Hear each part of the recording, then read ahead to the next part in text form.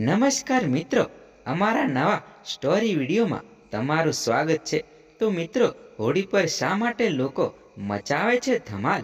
તો જાણી લો, આ છો રોચક કથાઓ હોળીનો તહેવાર હર્ષો ઉલ્લાસ સાથે દેશભરમાં ઉજવાય છે.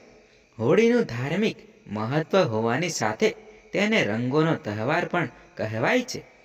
હોળીનો પર્વ હોલિકા, ભક્ત પ્રહલાદ અને ભગવાન વિષ્ણુ સાથે જ જોડાયેલો નથી, પરંતુ હોળી મનાવવા પાછળ અનેક માન્યતાઓ જોડાયેલી છે. આ માન્યતાઓ રાધા કૃષ્ણ શિવ પાર્વતી સાથે પણ જોડાયેલી છે. તો ચાલો જાણીએ હોળી સાથે જોડાયેલી છ રોચક માન્યતાઓ. રાધા કૃષ્ણની વાર્તા.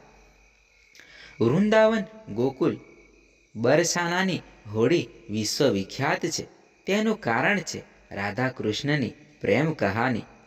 વસંત ઋતુમાં રંગથી રમતું તે ભગવાન કૃષ્ણની લીલામાંથી એક માનવતા આવ્યું. માનવામાં આવ્યું, રંગોના તહેવારથી એક દિવસ પહેલા હોલિકા દહન કરી અધર્મ પર ધર્મના વિજયનો ઉત્સવ ઉજવાય છે. શિવ પાર્વતી અને કામદેવ પુરાણોમાં વર્ણન મળે છે કે દેવી પાર્વતી ભગવાન શિવ સાથે લગ્ન કરવા ઈચ્છુક હતા, પરંતુ ભગવાન તે સમયે તપસ્યા કરી રહ્યા હતા. આ સમયે કામદેવે પાર્વતીજીની મદદ કરવા માટે શિવજીની તપસ્યા ભંગ કરી હતી અને ક્રોધમાં આવી શિવજીએ કામદેવને ભસ્મ કરી દીધા હતા.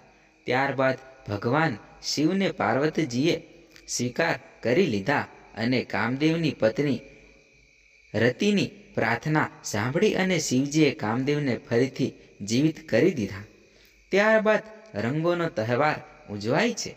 ભક્ત પ્રહલાદ અને હોલિકા પ્રહલાદની ભગવાન વિષ્ણુ તરફની ભક્તિ જોઈ તેના માનસિક પિતા હિરણ્ય કશ્યપે તેની બહેન હોલિકા સાથે અગ્નિમાં બેસાડી તેને મારી નાખવા માંગતો હતો, પરંતુ ભગવાનની ભક્તિના કારણે તેનાથી ઉલટું થયું અને અધર્મ પર ધર્મનો વિજય થયો. ભગવાનની કૃપાથી હોલિકા અગ્નિમાં બળી ગઈ. અને પ્રહલાદ બચી ગયા. કંસ અને પૂતના શ્રી કૃષ્ણના જન્મ બાદ મામા કંસે તેને મારવા માટે અનેક પ્રયત્નો કર્યા. આ કાર્યમાં મદદ કરવા માટે પૂતનાએ સુંદર સ્ત્રીનો વેશ ધારણ કરી અને બાળક કૃષ્ણને વિશેલું સ્તનપાન કરવા પ્રયત્ન કર્યો હતો. આ પ્રયત્નમાં પૂતનાનો વધ કરવામાં આવ્યો. ત્યારબાદથી ફાગણ માસની પૂનમના દિવસે હોળી ઉજવાય છે. ધમાલ કરવાની પરંપરા, લોકકથા અનુસાર શ્રી રામના પૂર્વજ રઘુના સમયમાં એક રાક્ષસી હતી. તે બાળકોને મારી અને તેમને ખાઈ જતી હતી.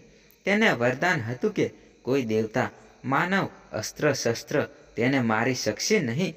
તેવામાં રાજપુરોહિતે એક ઉપાય દર્શાવ્યો. આ ઉપાયમાં બાળકો શોર બકોર કરતા દેવતાઓના મંત્ર બોલતા નીકળ્યા. આ ધમાલથી રાક્ષસીને ધૂળ કીચડ ઉછાળી અને ગામમાંથી બહાર કાઢવામાં આવી.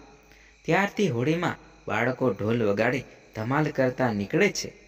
પ્રહલાદની ફરી, પ્રહલાદની ફોઈ હોલિકાને ઇલોજી નામના રાજકુમાર સાથે પ્રેમ હતો અને ફાગણ માસની પૂનમના દિવસે તેમના લગ્ન થવાના હતા.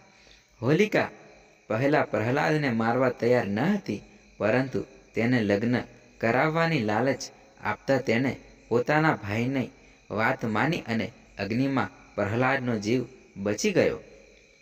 જો મિત્રો તમને આ કથાઓ ગમી હોય તો ચેનલને લાઈક, શેર અને સબસ્ક્રાઈબ કરી લેજો.